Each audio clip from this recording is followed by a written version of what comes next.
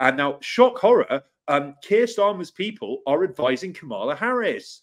So that may account for her flip flopping. Now, um, there was a really stunning um, investigation by uh, Paul D. Thacker and Matt Taibbi. These are two um, uh, independent journalists. Paul Paul Thacker does an enormous amount of like superb work on the disinformation in industry, disinformation in massive inverted commas. Um, they exposed in uh, uh, the last week of October it's absolutely astonishing. There's this organization called the Center for Countering Digital Hate, CCDH, which is um, it was founded by Morgan McSweeney, um, who was uh, Keir Starmer and remains Keir Starmer's uh, Svengali, his his uh, advisor. And so um, CCDH is um, run was running in secret an operation to quote unquote kill Musk's Twitter.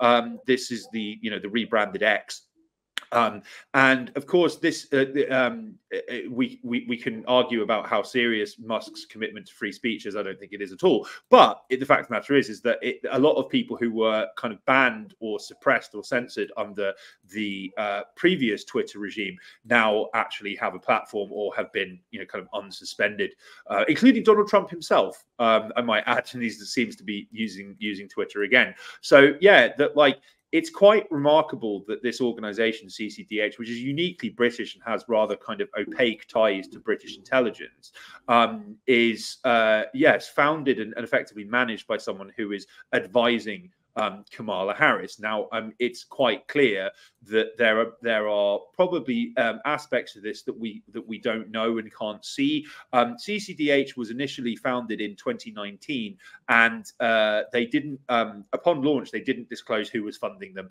um, or who uh, was running the operation. CCDH set up something called Stop Funding Fake News, which was a it was an effort to deplatform or damage the income, at least, of alternative news websites from both the right and left. And this included the, the Canary in the UK, but also um, sites like The Federalist, which is kind of like pro Republican, very pro Trump uh, website in the US, and also Zero Hedge.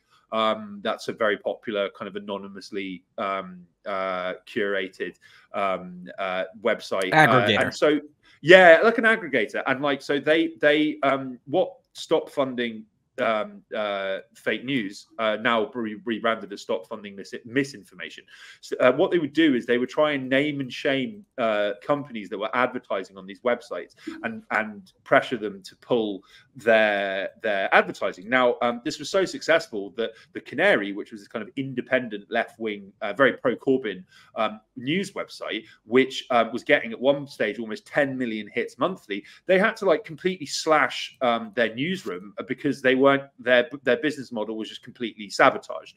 And um, uh, CCDH was like cheering this um, having done this. And it's since been acknowledged that Morgan McSweeney saw um, the Canary because of its pro Corbyn stance as very problematic. And so they just they just neutralized it, um, and in this in this very very very opaque and shady way. Now, um, yeah, like in a lot of the reporting on how McSweeney is advising um, Kamala Harris, it is uh, he, is telling her, quote unquote, how to win. Um, that's per Politico. Um, it is stated over and over and over again that this is largely because Keir Starmer doesn't want to be, quote unquote, left alone um, in supporting Ukraine. So, I mean, there are widespread fears that Trump is going to end the war in Ukraine. He's openly stated that he'll. This one of his first acts upon taking office is that he will he will end this. I think that's actually something that Trump's quite good at. Um, when he was in, this is rather forgotten, but in uh, in like 2017, Saudi Arabia was on the verge of invading Qatar. Uh, like they were like troops at the border, like massing, and he managed to like resolve that um, and then signed a mutual defense agreement with Qatar. And so, like, he's actually quite good at diffusing these things. And it's, I think he approaches it like a, you know, like a business deal. Um, there are several other examples, like of, of, Trump doing similar things, where he, like, for instance, ended um, the entire Syria dirty war because someone showed him a video of a child being beheaded by a CIA-backed uh, extremist militia in Syria, and he's like, right, well, that's over and this is like one of the biggest covert uh, programs in CIA history to the tune of billions, like funding and arming the Syrian quote unquote opposition. And it ended because um, Trump was very unhappy about it. So I think, yeah, that, that they have the British, who are, as we've discussed many, many times, they are all in on keeping the proxy war going. They are all in on, um, uh, but it's, it's, it's, like across every single British political party supports keeping this going. Like there is yeah. zero, there is zero debate on. And recently, um, Rachel Reeves, who's the Labour Chancellor, she outlined how um, Britain will be funding Ukraine to the tune of three billion annually for quote unquote as long as it takes, which is a commitment that Keir Starmer had previously made. So, I mean, yeah, they're they're they're, they're determined to keep this going. Um, and yet, if Trump takes power within within a few days, he has pledged to just end this outright. And I think that's, that's probably a very real prospect because actually the Pentagon uh, doesn't want this to continue, it is actually very damaging for the US to keep to keep going because they are the the, the US is uh, depleting all of its stockpiles of missiles and particularly shell artillery shells, and they don't have the infrastructure to uh, to replenish this at any speed. There was recently um, uh, a RAND report, RAND's this Pentagon think tank, which explicitly stated that America's industrial base is just basically non-existent at this time. Its its uh, commissioning and contracting structure just doesn't work. Uh, they can't get the weapons or the ammunition they need like at, at any speed. And east, the the conflict in Ukraine. So here's a, an example of one of the many articles stating that yes, if Kamala loses, uh, Starmer could be left to confront global threats alone.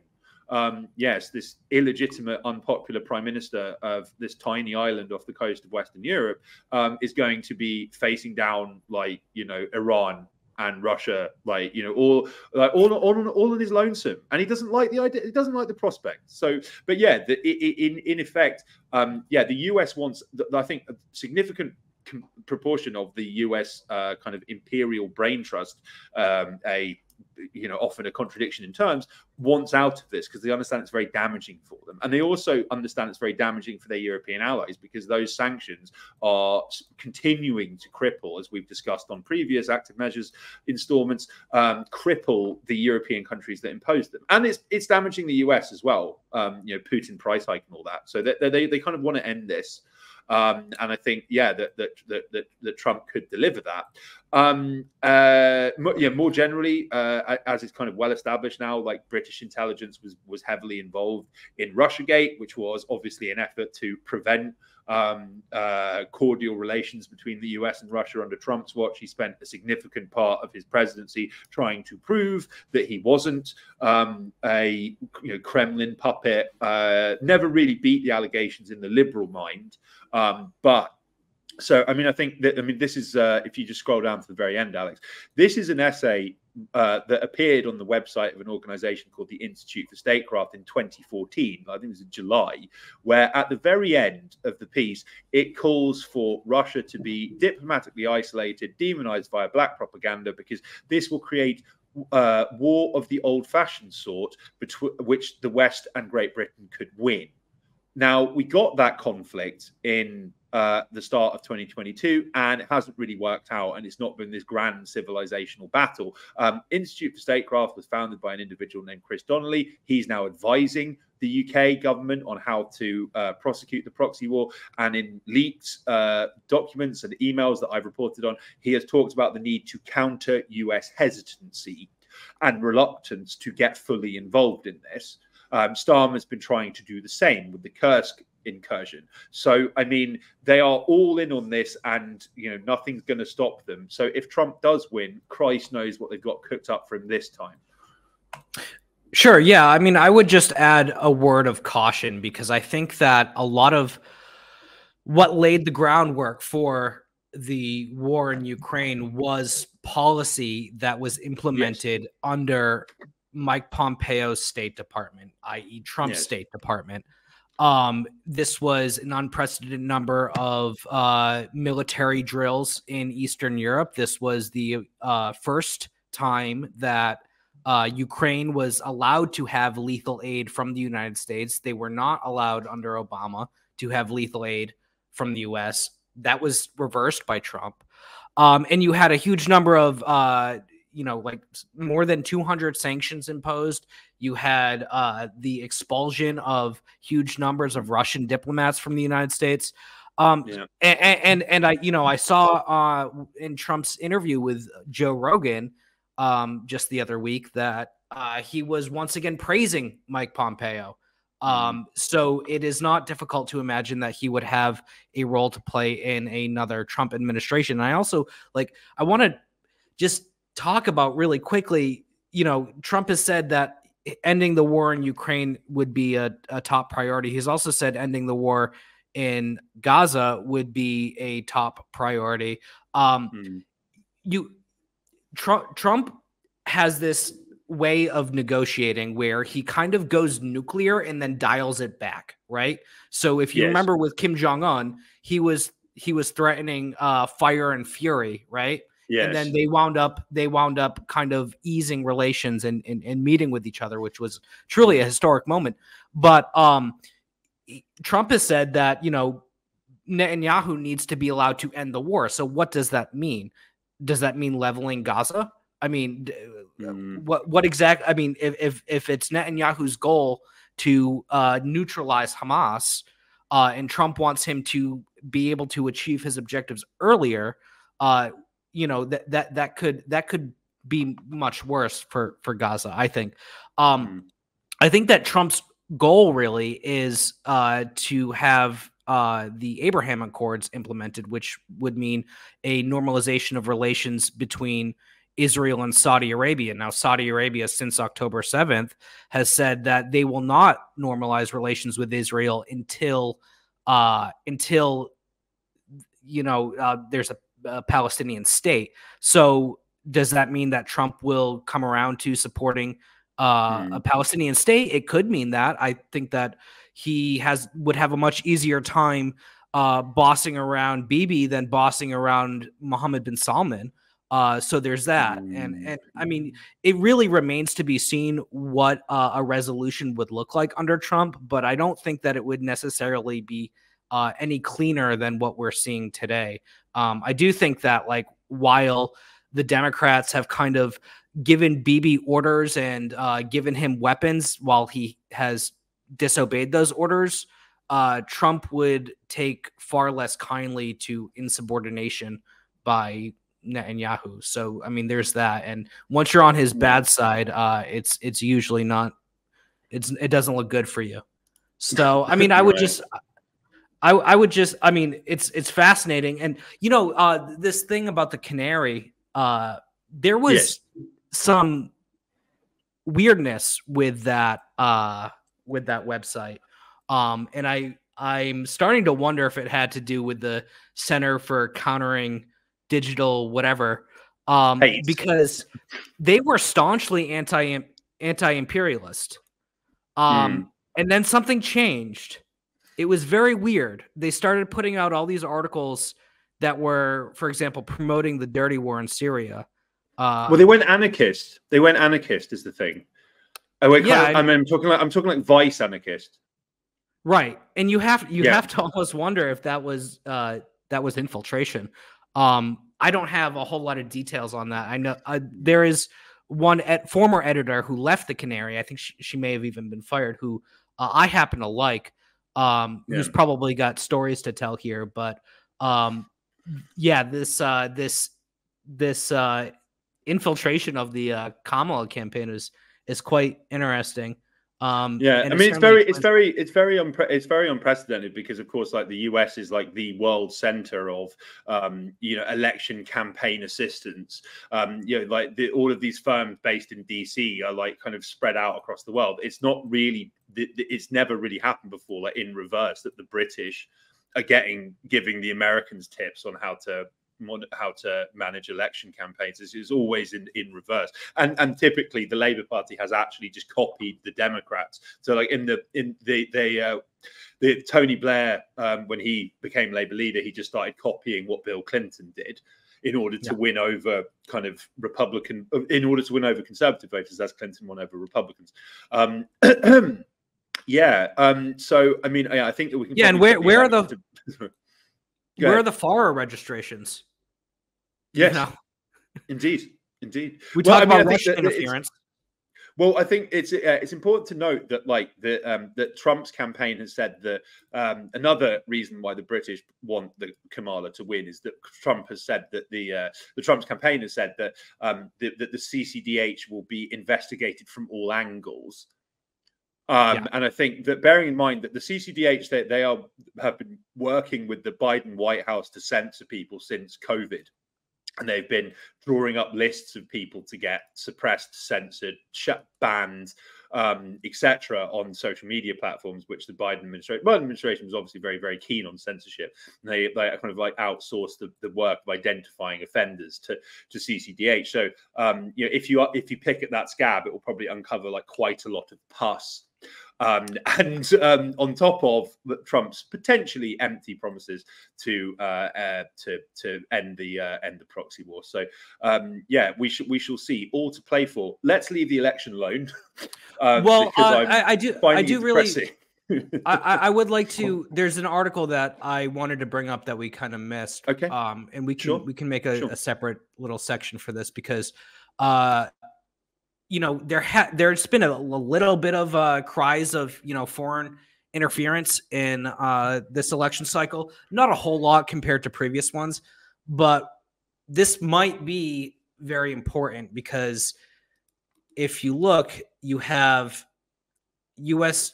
administration officials, Biden administration officials, um, claiming this is the uh, Cybersecurity Infrastructure Security Agency, CISA, um, you can talk more about CISA in a bit if you like. Uh, but they're saying the election is not over the night of November November fifth. This is Jen Easterly, the director of, of, of CISA. Uh, it is very likely there will be close races that require the paper record to be counted and recounted and audited to ensure accuracy. It is between that period when the polls close and when the vote is certified, that our foreign adversaries will likely be most active in trying to sow partisan discord and undermine American confidence in the election. They will do this by creating a wedge between the campaigns of the Republican nominee and the Democrat nominee by mounting possibly even more active influence and disinformation operations that raise doubts about the accuracy of the vote in what is expected to be a very close election. Easterly and her chief deputy, Cait Conley, said in said in an interview with Foreign Policy. So what they're doing now is that they're seeding the ground that that that basically uh, any questioning of the election results will be due to foreign influence. Um, and I think yeah. I think I think the real problem here is that um, every institution of the United States government has failed. And people have yeah. lost trust in those institutions. And they see that the United States rigs elections abroad with impunity year after year. And you're left to wonder if they're willing to do that to other people, well, are they willing to do mm. that to Trump, the guy who's you know claiming to uh, want to stop all this foreign meddling? Um, so this is something to look out for. Uh, I do think that it will be interesting because if it is the case that Trump wins, uh, the Democrats are going to have to go back to be election deniers, um, which is what they did in 2016. So something to keep an eye on and I wanted to bring that to our viewers' attention. I don't know if you had anything you wanted to add about CISA. Well, yeah, I mean, I think, I mean, we've we, we we've talked before about um, about CISA. I mean, it is a deeply politicized wing of um, the uh, the DHS, Department of Homeland, yeah, the Department of Homeland Security, and they were heavily involved in the uh, construction of the now defunct and, and largely forgotten Disinformation Governance Board, which was this. Um, Uh, if if you if uh, our viewers recall this, this was um, uh, launched with much fanfare. Uh, was it in? It was in 2022 at some stage, and then within a few weeks, it got shut down because there was a huge backlash. It was fronted by this awful woman called uh, Nina Jankowicz, who has this history of like endorsing the Steele dossier and libeling WikiLeaks and other independent um, truth tellers as like pawns of the Kremlin. Um, it was quite clear that this was an attempt to create a, a formal US kind of censorship Ministry of Truth style um, operation. And then, due to a, part, a bipartisan backlash from both left and right in the US, it got shut down. Um, and CISA was was involved in its construction, and yeah, it was uh, obviously the the the vic the primary victims of this would have been Trump supporters. Um, but yeah, the, I think that as well that I mean, in it, it's as we'll get into in due course, it's very interesting that they are warning that um, any claims of election interference or uh, jiggery pokery, chicanery with the results, shenan- shenanigans, whatever you want to call it, is a foreign plot. And then meanwhile, in Georgia, they are there is all of these US organizations which are saying that the results of their election at the end of October were fraudulent. Um, so it's yeah, it's uh, you know, do as I say, not as I do. Hey everyone, um, if you enjoyed this video or, or any of our other content, uh, please give us a follow on Twitter or subscribe to us on YouTube. It will help us beat the algorithm oligarchs. Thank you.